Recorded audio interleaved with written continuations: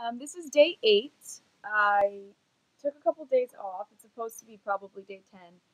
But I'm going through, or I went through, um, a tough separation from somebody.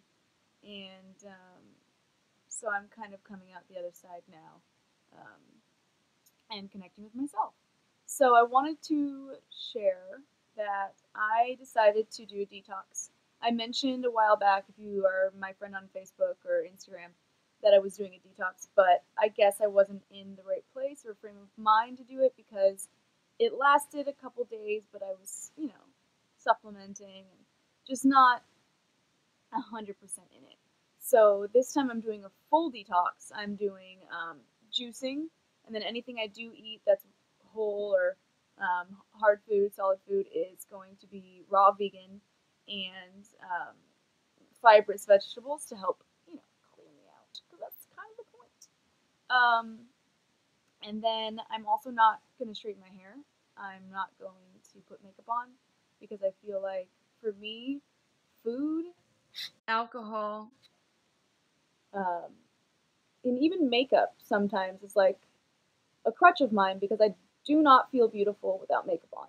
So in the quest to love myself, I feel that it's necessary to be okay with going outside and, you know, being in the public eye without any makeup on. So that is where I am at right now. And I also um, feel like the detox, since I, I love food, I'm a food blogger. I mean, obviously, I love food, and even healthy food sometimes I can indulge a little bit. And, um, you know, my cinnamon rolls are my thing. And whenever I'm feeling depressed, I latch on to alcohol and bad food.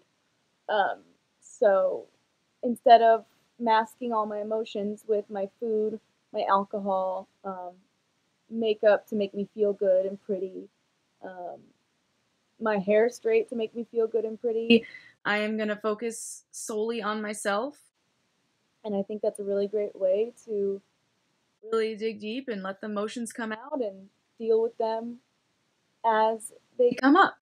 So that is where I'm at, and this is super short, but I really just wanted to share that before I left for the day.